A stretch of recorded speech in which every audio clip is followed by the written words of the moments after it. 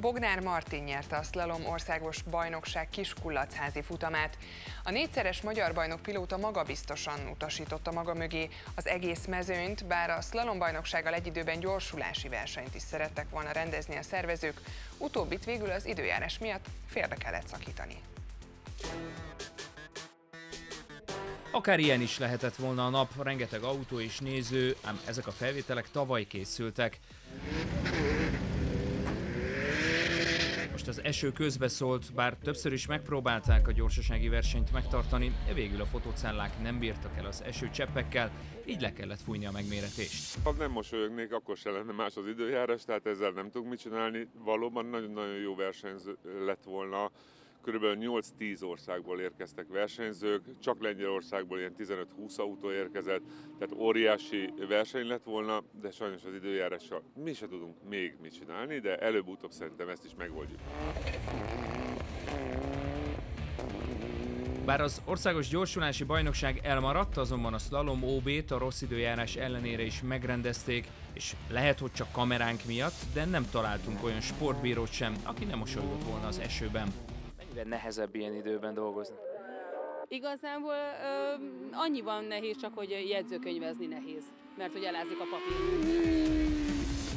A pályán három úgynevezett mért kört kellett teljesíteni, és mivel a fotocellák itt tökéletesen működtek, így gond nélkül végig tudtak menni a versenyzők.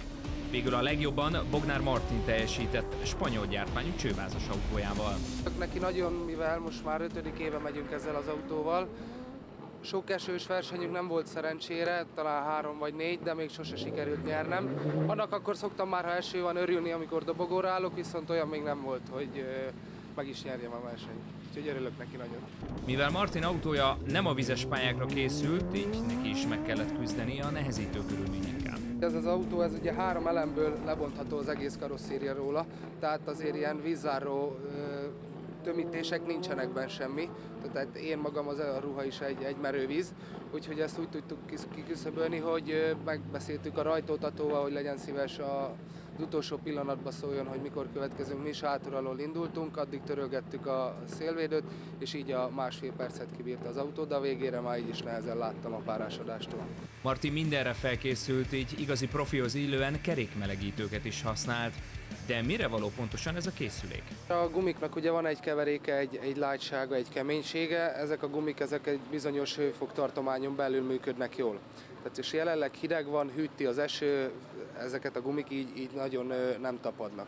Ezért van ez a megoldás, amit jelenleg nem tiltott a szlalomban, hogy gumimelegítő paplan használható, és jelenleg ezeket a gumikat ilyen 75 fokra melegítjük. Tehát ez azért jó, mert egyrészt a gumi is, a szerkezet minden átmelegszik, a felni is, nyilván ahogy kigurulunk az esőre hűl vissza, de mégsem egy, egy hideg gumival állunk rajthoz.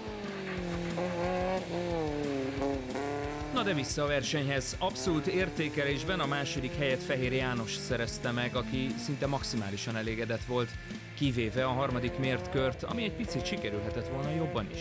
A pálya hátsó szakaszán ott kifelé lejt a pálya, és ott egy erősebb féktávot vettem, mint amit kellett volna és ez igazából azt eredményezte, hogy egy ilyen durván 45 fokos szögöt vettem föl az autóval, ami nem, tud, nem túl gyors volt, és így ezáltal ott mentek a tizedek. Megkockáztatom, akár egy másodperc is ott maradhatott, de igazság szerint ez így is elég volt. A Magyar Slalom Bajnokság október végén a Kecskeméti versennyel folytatódik majd.